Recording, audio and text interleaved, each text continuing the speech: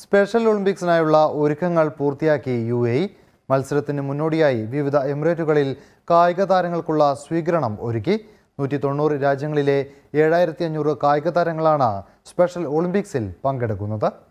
നിശ്ചയദാർഢ്യക്കാരുടെ കായിക മാമാങ്കത്തിന് തിരിതെളിയാൻ വെറും മൂന്ന് ദിവസം മാത്രം ബാക്കി. ഇന്ത്യ ഉൾപ്പെടെ നൂറ്റി തൊണ്ണൂറ് രാജ്യങ്ങളിൽ നിന്നുള്ള കായിക താരങ്ങളാണ് അബുദാബിയിൽ എത്തിച്ചേർന്നത്. ഏഴായിരത്തി അഞ്ഞൂറ് കായിക താരങ്ങൾ മാറ്റിരിക്കുന്ന സ്പെഷ്യൽ ഒളിമ്പിക്സിനായുള്ള ഒരുക്കങ്ങൾ പൂർത്തിയായതായി സംഘാടകർ അറിയിച്ചു. മൂവായിരം കോച്ചുകളും മത്സരത്തിനായി രാജ്യത്ത് എത്തിയിട്ടുണ്ട്. ചൊവ്വാഴ്ചയാകും കായിക താരങ്ങളെ മത്സരത്തിനായി വിവിധ വിഭാഗങ്ങളാക്കി തിരിക്കുക. വിവിധ കായിക ഇനങ്ങളുടെ അടിസ്ഥാനത്തിലും വയസ്സ് മത്സരക്ഷമത തുടങ്ങിയവയുടെ അടിസ്ഥാനത്തിലുമായിരിക്കും വിഭാഗീകരണം. ശനിയാഴ്ച ഫുജേറ എമിറേറ്റിലും ദുബായിലും താരങ്ങൾക്ക് സ്വീകരണം നൽകിയിരുന്നു. ടൂർണമെന്റിന്റെ ദീപശയ്ക്ക് കഴിഞ്ഞ ദിവസം ഷാർജയിൽ വൻ വരവേൽപ്പാണ് നൽകിയത്.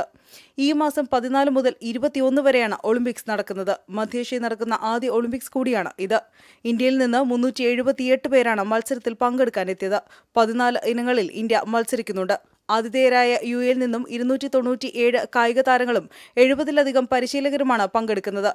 സാമൂഹ്യ വികസന മന്ത്രാലയത്തിന്റെ പങ്കാളിത്തത്തോടെ യു എ ഒളിമ്പിക്സ് സംഘാടക സമിതിയാണ് സ്പെഷ്യൽ ഒളിമ്പിക്സ് വേൾഡ് ഗെയിംസ് നടത്തുന്നത്. N T V Abu Dhabi.